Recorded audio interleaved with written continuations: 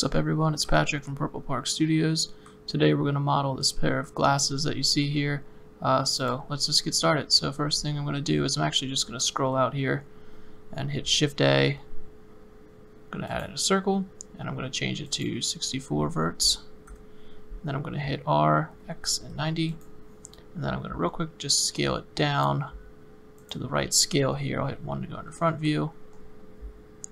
And then G, I'm just going to move that into position here.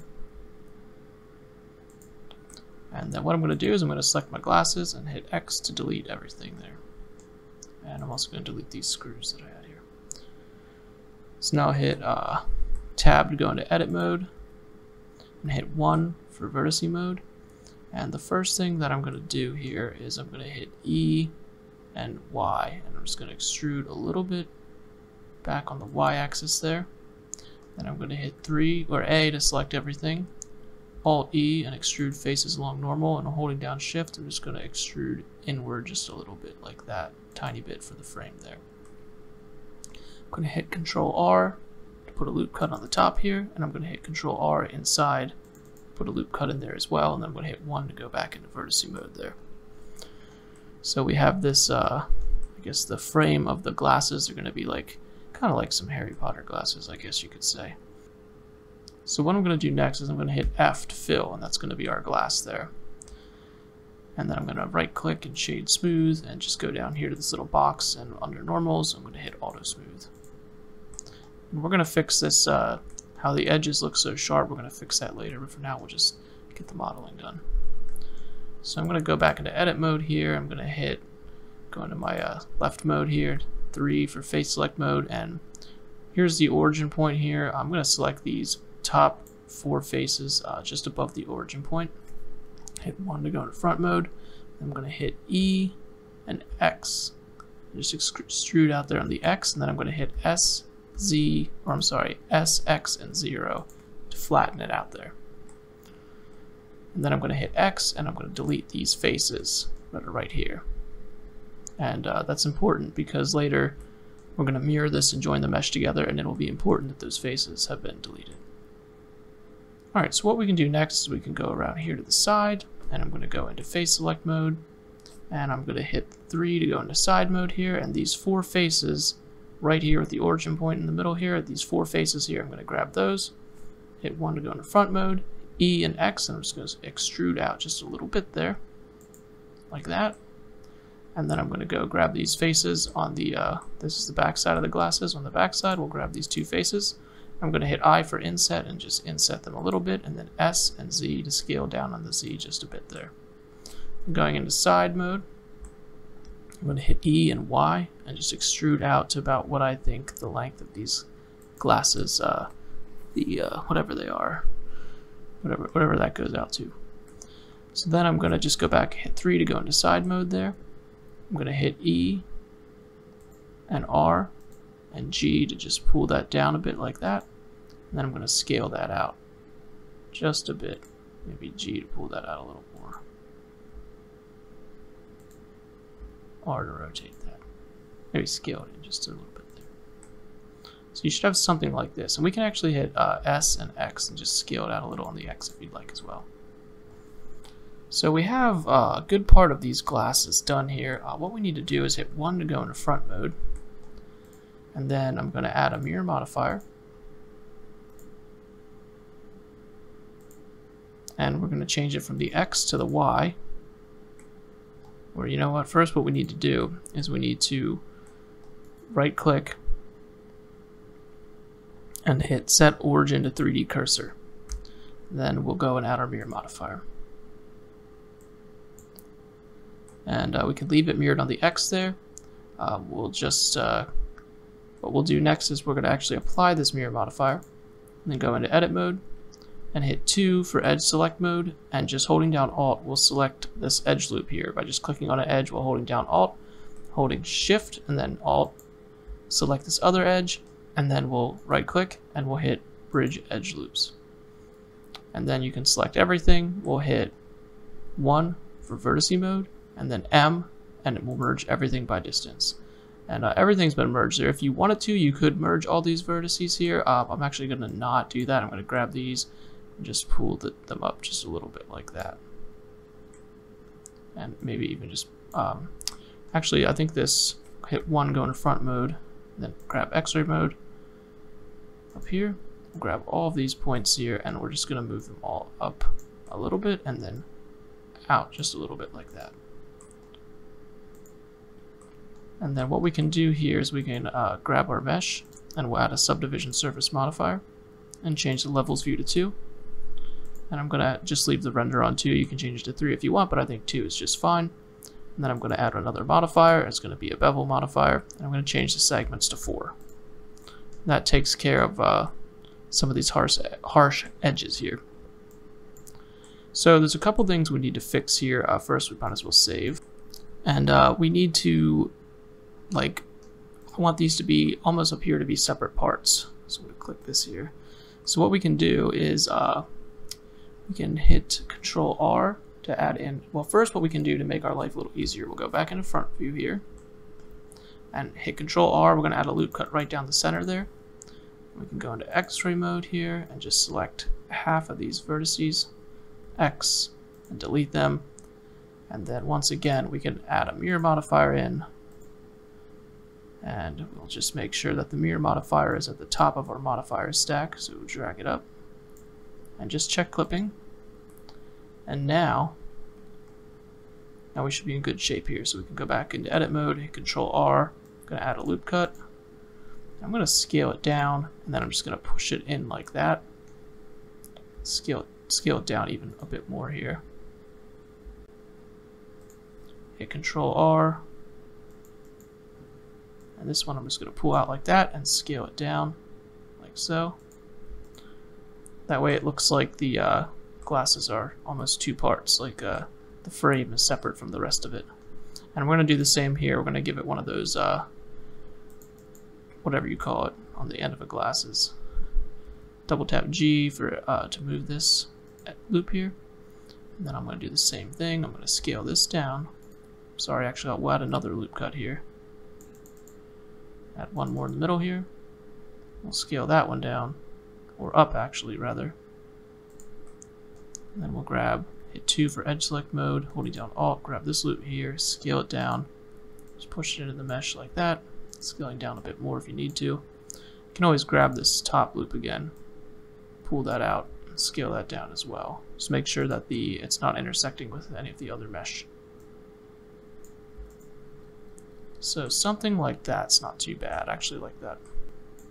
And if you uh, if you have this like pinching here in the middle, it's probably when we were like messing with uh, the points here, and then we added that second mirror modifier, which could you may be experiencing this issue. And if it's bugging you, you can just go ahead and apply your mirror modifier, tap into edit mode, and with these uh, all of these points here selected, you can just hit X and you can delete those. Tap 2 to go into edge mode, and you can hold down Alt, select that loop there, and Shift Alt select this loop, oops, sorry, select this loop here, right click and just hit bridge edge loops. And then if you go out of edit mode, it just looks a little bit cleaner. So I think I'm going to go with this. Um, and if you did want to have that bevel, you could just hit Control R in the center there, um, and then you could still move that out and up like we did before, uh, if you want. So just a note. So now we can move on to the uh, texturing.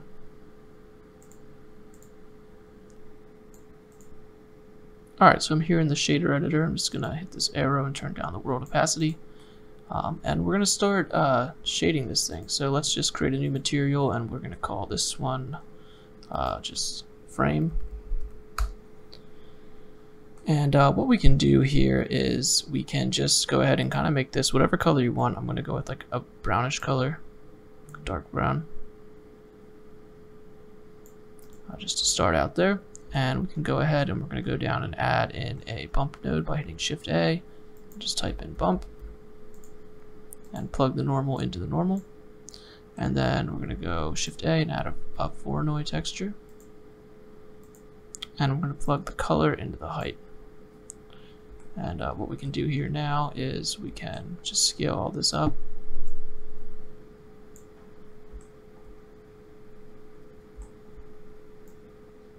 scaled up pretty high here. I'm gonna make this kind of like a fake, um, like a, almost like a fake wood look. Um, change this from changes to uh, Minkowski. That we can start playing with the strength here. Strength something like uh, I think 0.32 looks decent, or maybe you can just make that like go with 0.4. Um, you can also play with the random value here. I'm just going to keep it all the way up.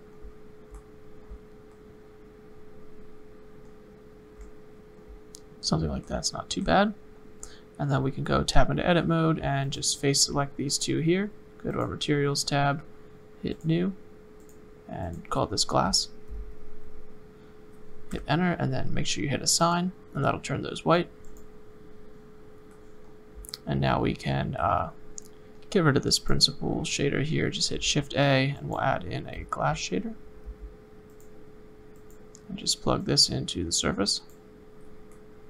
And I'm going to make the roughness like 0.4 or uh, maybe like 0.2, 0.3. 0.3 is nice. I like that. And the one thing you want to do, it's important, uh, go down here, over to here under your shading, under the shading tab here, and change the blend mode to alpha blend the shadow mode to alpha hashed. And uh, what that'll do is it'll allow you, if you, well, first we have to add in a transparent node, Shift A. It'll allow for the transparency essentially. And so we'll just move this over here and Shift A to add in a mix shader. Drop that right in there, and we'll just plug this into the shader. And now you're able to see through the glass like that. And uh, save this here. So hit Shift A and let's add in a bump node. Plug the bump into the normal of our glass shader. And then I'm going to hit Shift A and I'm going to add in a noise texture. And I'm going to plug the color into the height. And then I'm also going to add in a color ramp. And I'm going to drop that in between the two.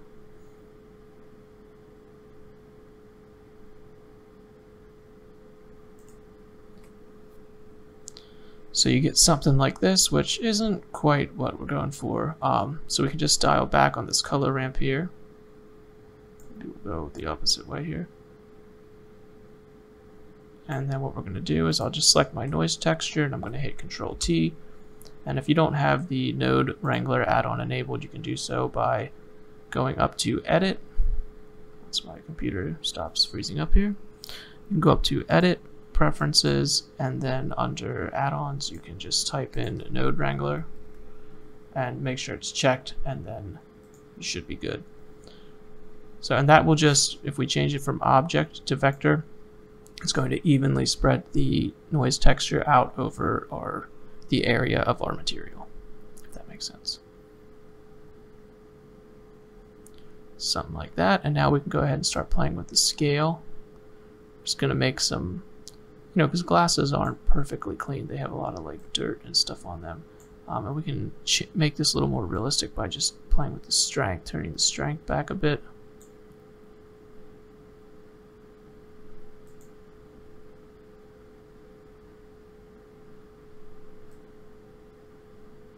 Something like that. We can turn the scale up or down, I'm sorry, a bit more. So the next thing we need to do here is um, we can actually, I didn't do this for the first pair of glasses, uh, but we can do it for this pair. Let's uh, let's give this a different material. So we can just hit 3 to go into face select mode, holding down Alt, and then Shift and Alt. We can select these uh, sides here. We can do the same for this side over here.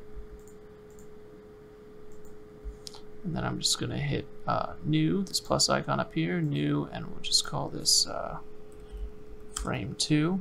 And I'll hit Assign. And we're gonna make this uh, different color here. I think that'll be cool. Let's make this like, try a black or something. Maybe like a gray. Maybe we can try making this metallic to see how it's gonna look. Play with the roughness here. Something like that. Maybe I'll go like 0.4. I'm just kind of experimenting at this point here. Um, And we, are going to want to change uh, this endpoint here as well. So we can use the same method, holding down uh, Alt, select the first face loop or the first edge loop, and then holding down Shift and Alt, we can select the rest of these faces. And what I'm going to do is I'm actually just going to assign these to the uh, silver material that we made. And we can go ahead and give this, uh, add a bump node to this uh, material here. Bump node. Alright, Shift A, we'll add in a noise texture. Plug that into the height. And just turn the strength back and the scale up. Turn the strength way back on this one here. So it kind of gives it a little bit of a rough faded look there. We can play with the color then in a bit here as well. And also play with the roughness value here. We turn the detail up to like 6. Something like that. We'll zoom in so we can really see what's happening here. So that's kind of nice. Um, you might just want to make this a bit darker. Or perhaps the answer is just changing the frame from this brown look to a different color.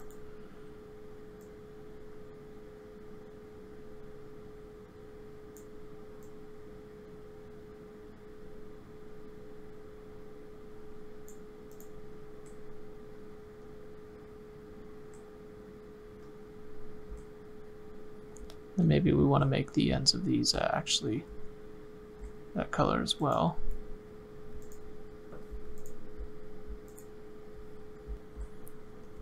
And so really, I mean, you could spend uh, you could spend as much time as you want really tweaking all these settings and the colors and you know getting different results out of playing with the textures. Um, but I think you know no one wants to sit here and watch me do that for hours, uh, which I definitely do sometimes. So I think you get the point as far as modeling these glasses uh, and texturing them. There is one last step we can do to add a little bit of realism to these glasses. Uh, if we go back into our layout here, we can hit Shift A and go to mesh and then you can add in bolt and if you don't have the uh, bolt add-on enabled this is like huge right now because this for some reason these aren't really uh, built to scale but you can change it to uh, go from none you can go to Phillips here there's a whole bunch of options and you can just scale it way down way down because it's definitely not that's a bolt is definitely not that big um, and then you can hit R X and 90 oh, I'm sorry control Z that R Y and 90 wow that's the first time I said control Z in this tutorial G and X to move it out, scale it down. And I think the add-on um, edit preferences, I think it's just, is it Bolt? Yep, Bolt Factory right there. It's a free add-on. You can just enable that. Um, you should have that. But what I did was uh, just hit G and sorry G and Z, and I just added and uh, scaled these way down here. I just added some little screws in uh, to the sides of the uh, glasses here. Just going to rotate that one a bit and go to side view, G and X, sorry, G and Y. And then I hit Shift D and Z. Want to go to front mode, rotated that one as well. Now I just selected both of the screws and hit Control J, and then right click to set origin to geometry. Scrolled out a bit and added a mirror modifier to the screws. And then using this eyedropper tool, I just selected the uh, circle here or our glasses. I guess we can rename this to glasses. We can name these to screws. Oh, I just did that the wrong way. So screws and glasses. And now you should have uh, the screws on both sides of your glasses. And of course you'd want to give them a texture. Um, and we could just, for the sake of this tutorial, we could just give them this um, this silver texture here that we already have. I mean, of course, you could change that if you really wanted to, um, but I'm going to leave it here for the tutorial.